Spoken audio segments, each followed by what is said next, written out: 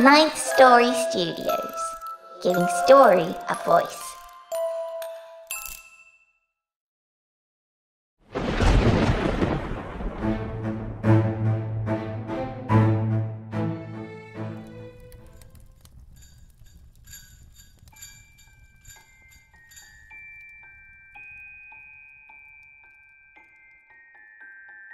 Our First Christmas by Davis Walden.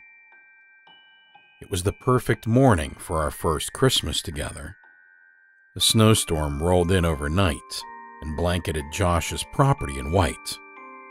He yawned, pulled me up against him, and told me to wait while he got breakfast ready. Josh eventually led me downstairs over to the tree and revealed that he had stripped bound and gagged the man we had slept with earlier that week. My fangs clicked straight into place, and my mouth watered. We each took a side of the man's neck and bit down.